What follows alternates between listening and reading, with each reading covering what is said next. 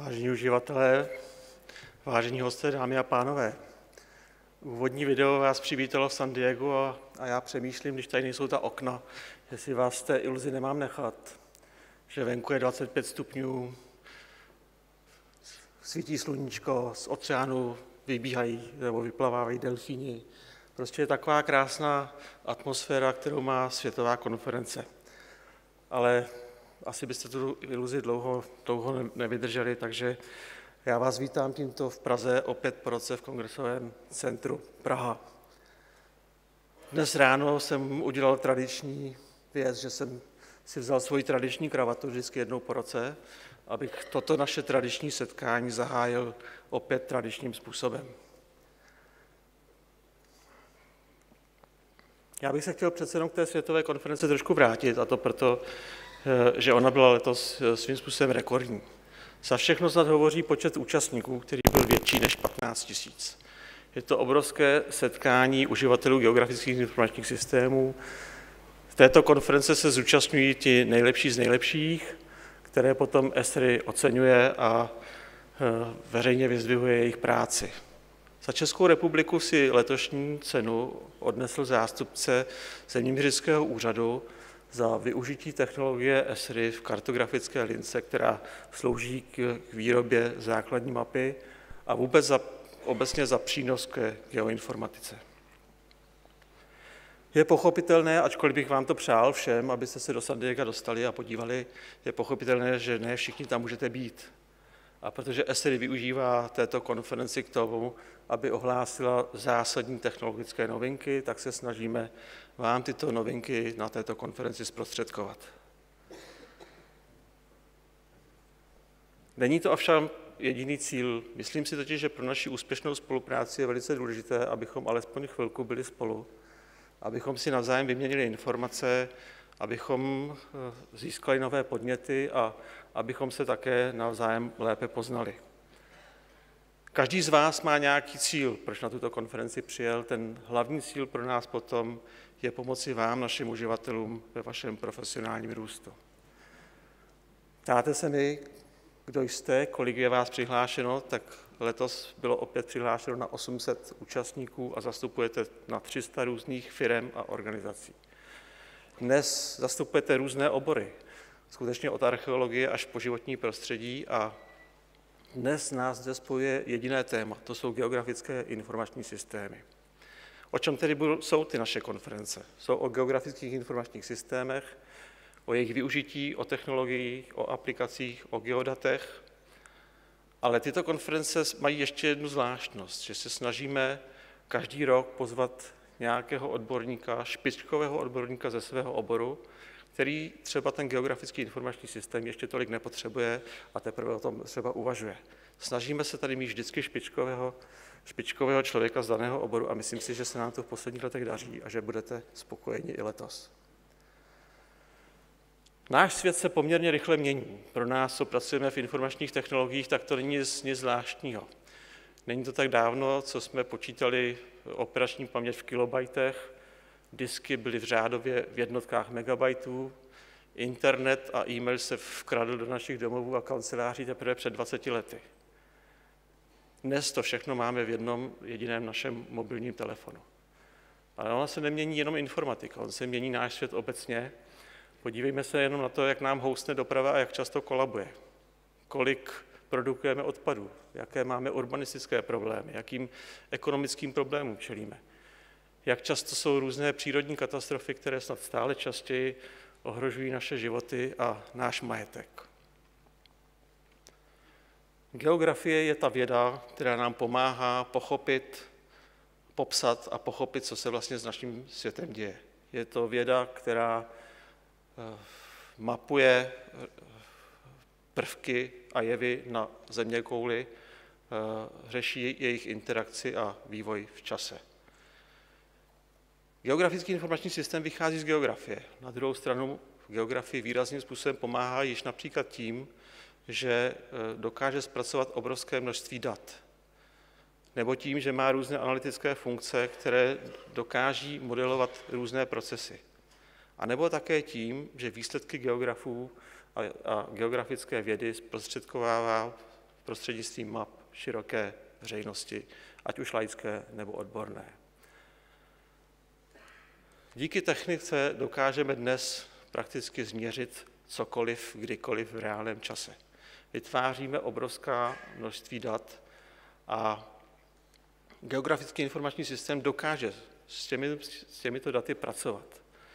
Eh, dokáže pořizovat data klasickým způsob, klasickými způsoby od geodetů přes fotogrametry, digitalizaci map až po moderní technologie, jako je satelitní snímkování, laserové, eh, laserové snímkování a podobně.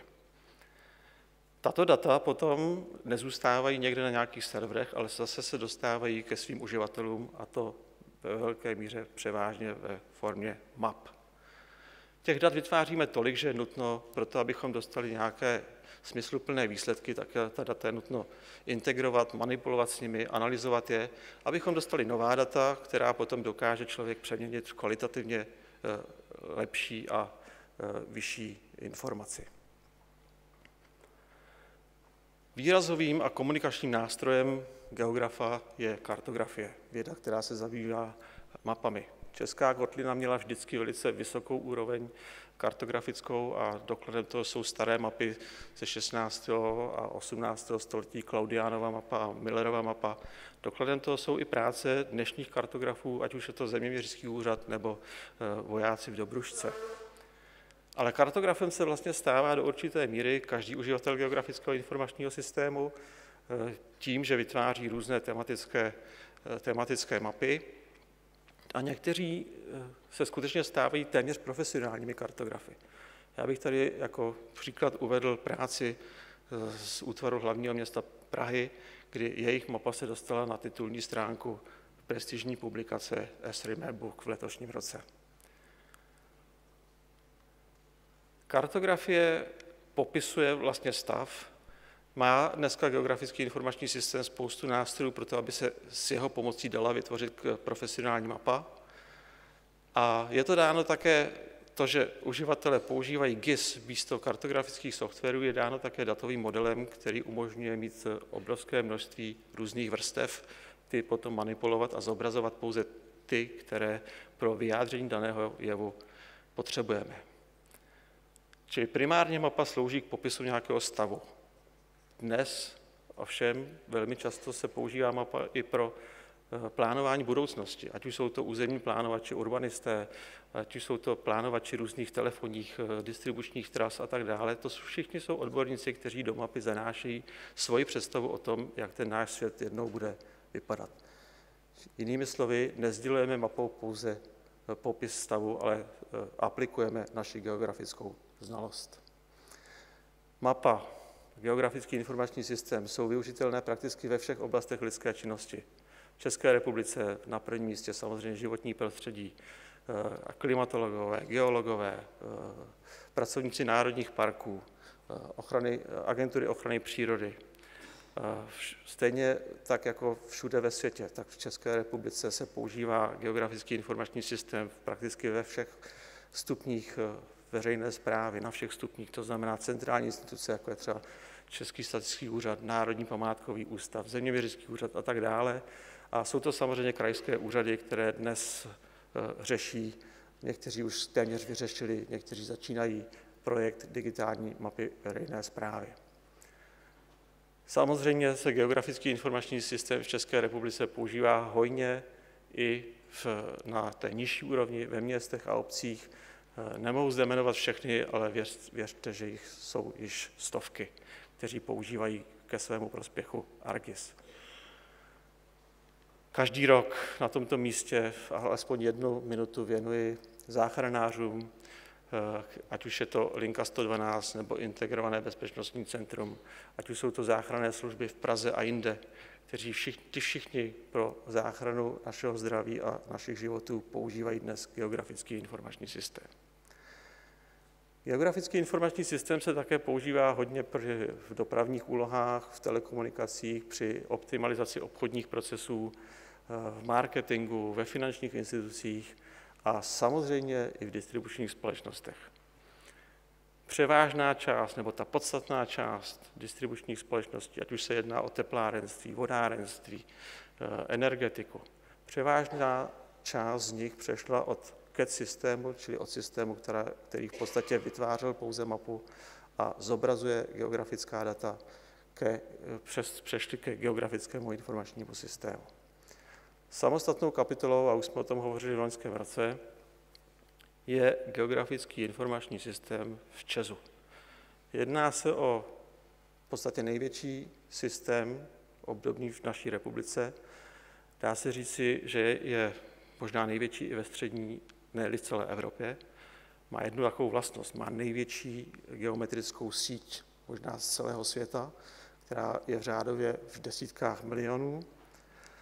A to, co je na tom systému zajímavé, není jenom to, že je v něm obsaženo na, jsou data o 150 tisících kilometrech té sítě, že na ní je 50 tisíc transformačních stanic, 3,5 milionu e, přípojných míst a že vlastně je to všechno centrální systém, ke kterému přistupuje 400, až na 400 editačních pracovišť.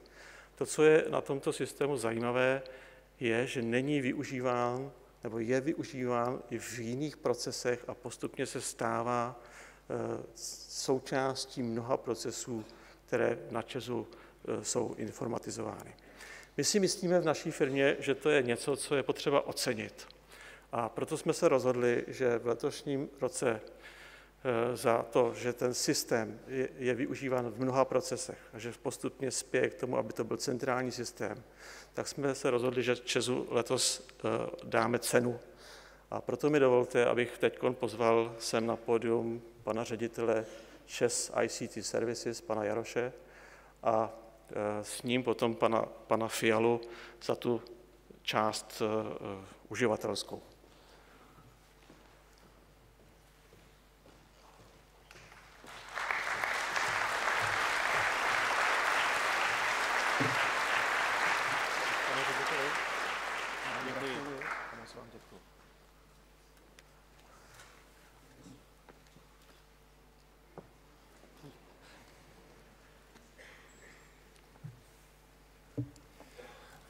Dobrý den, dámy a pánové. Já bych jenom krátce chtěl poděkovat za tuto cenu, protože beru, že to je ocenění pro více než tisíc lidí, kteří dnes v celé skupině ČES systém spravují, používají a provozují.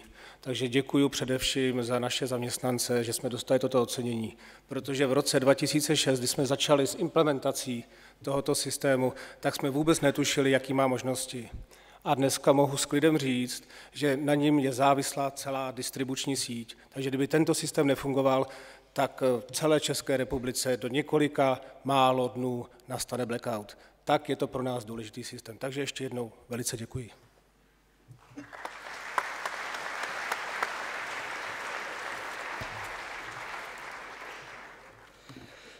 Takže ještě jednou dobré dopoledne, dámy a pánové. Já tady mám teď nelehký úkol, a to v několika minutách představit, představit řešení GIS, které skupina ČES zejména v oblasti distribuce elektrické energie využívá. A to je téma, o kterém by bylo možné hovořit po celou dobu této konference a tolik času nemáme. Ale také, než se k tomu dostanu, tak bych rád využil i já této příležitosti a poděkoval za skvělou práci všem, kteří se na rozvoji GIS ve skupině ČES podílejí. A že to rozhodně není vždy procházka růžovým sadem, zejména v období prvotní implementace, nemusím připomínat. A nyní už eh, k, ke GIS a k distribuční soustavě, proč ji vlastně potřebujeme. Eh, v České republice máme to štěstí, že využíváme jednu z nejkvalitnějších distribučních soustav ve světovém měřítku, aniž si to často uvědomujeme. Tato distribuční soustava je unikátní nejen svým rozsahem, ale především kvalitou. Kdybychom pátrali proč tomu tak je, tak kromě vlastní dlouhé historie energetiky v českých zemích bychom se mohli podívat do poloviny 80. let, kdy se téměř všechny rekonstrukce distribuční soustavy realizovaly s předpokladem, že elektřina bude v budoucnu hrát mnohem větší roli a kvalitní distribuční soustava bude základním předpokladem pro její efektivní využití. Dnes s rozvojem OZE, s bouřlivým rozvojem po roce 1989 se nám to jenom potvrdilo. Jaký je rozsah této distribuční soustavy v majetku ČES, to už tady zaznělo. To číslo 150 tisíc kilometrů. Kdybyste si vzali například lehký bitevní letoun L-159 české provenience a chtěli si ji prohlédnout, tak vězte, že byste v kokpitu strávili více než 6,5 dne. To by nebylo pohodlné. To je jeden z důvodů, proč, proč my využíváme GIS. Jak vidíte na tom obrázku, v každém případě už nejde o pouhý obrovský rozsah izolovaných dat, ale o to, jak efektivně jsou využívána a sdílena v rámci organizace. Na slajdu za mnou můžete vidět zdaleka neúplné koncepční schéma procesů a aplikací, které jsou z GIS u nás integrovány. Technická evidence, účetní evidence, provoz a udržba distribuční soustavy, legislativa, poskytování dat veřejnosti a tak bych mohl pokračovat. Z našeho pohledu se GIS jeví jako ideální integrační a zároveň interpretační platforma, které rozumí stroje, lidé a někdy poněkud překvapivě i ekonomové. Říká se, že jeden obrázek vydá za tisíc slov a tady se samozřejmě naskýtá otázka, zda jsme díky GIS a jeho obrázkům, jak říkají běžní uživatelé, i tisíckrát efektivnější. Bylo by hodně zjednodušené říci, že jednoznačně ano. Nicméně faktem je, že s pomocí GIS jsme v některých důležitých procesech dosáhli zvýšení efektivity skutečně v řádech tisíců procent. A to, co jsme předtím řešili, podotýkám, že bez L159 v řádu týdnů či dnů nyní dokážeme v řádu minut. Já jsem s tím krátkým představením na konci a nyní mi dovolte pozvat na pódium mého kolegu pana Otakara Vostárka ze společnosti Čes Měření, aby vám představil náš nejnovější přírůstek do GISovského portfolia skupiny ČES, a to aplikaci pro optimalizaci dojezdových tras, kde jsme poprvé v rámci ČES využili i nadstavbu Network Analyst. Dobrý den.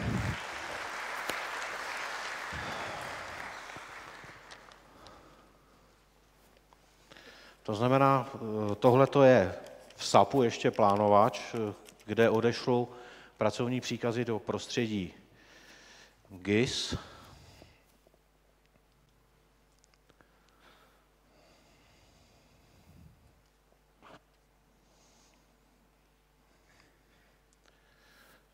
Takže to, co vidíte nyní, je plánovač eh, pracovních příkazů montérače směření eh, nad mapami v GISu. My se dneska budeme soustředit hlavně na pana Sterzika, který má modrou barvu a eh, modře jsou znározněny i tečky, které znamenají jednotlivé pracovní příkazy.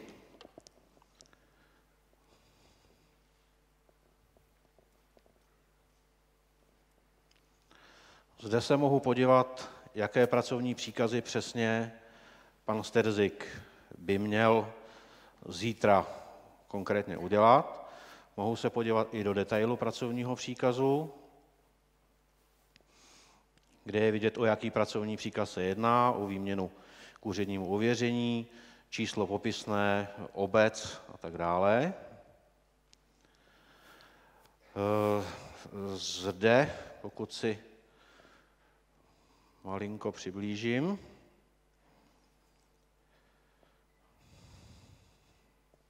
Tak to bylo moc.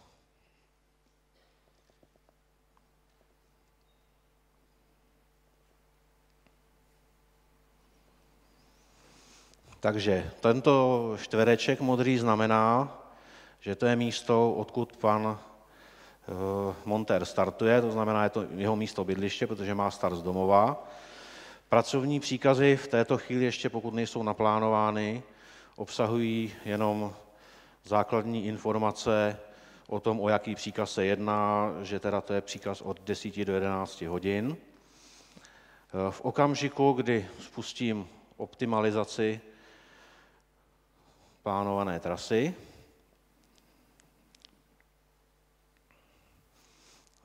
Zde se objeví zde se objeví pořadí pracovních příkazů, tak jak byly naplánovány.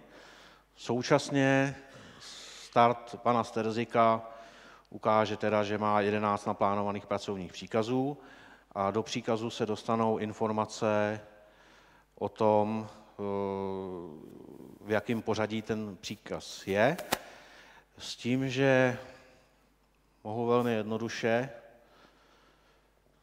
se podívat na plánovanou trasu pana Sterzika. A tady vidím, že pracovní příkaz v pořadí 13 je od jeho bydliště už poněkud daleko. To znamená, já si ho mohu takovým jednoduchým způsobem, nemohu,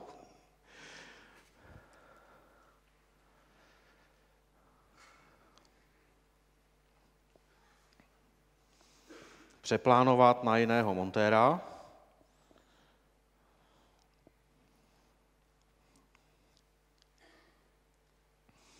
Takže pokud znova spustím optimalizaci,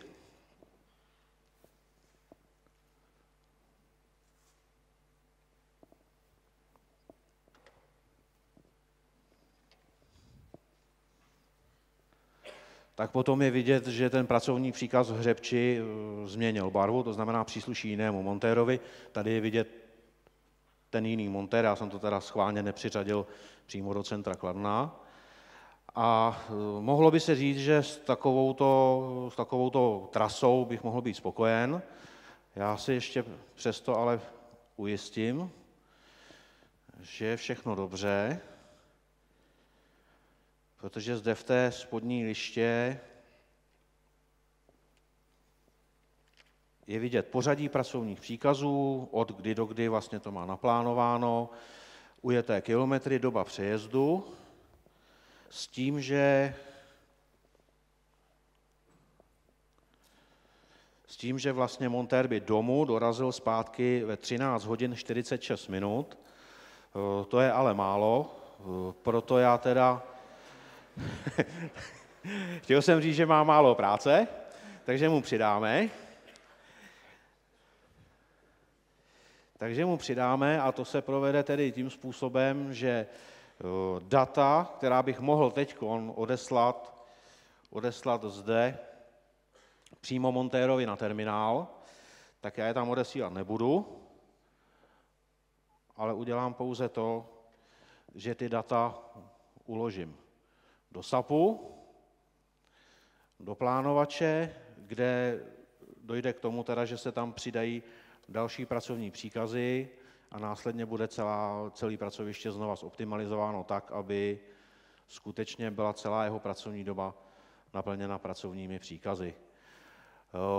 Já vám děkuji za pozornost a chtěl jsem jenom upozornit, že čes měření dneska v 15 hodin bude mít ještě jednu schůzku, kde budete mít možnost být podrobněji informováni o celém systému. Děkuji.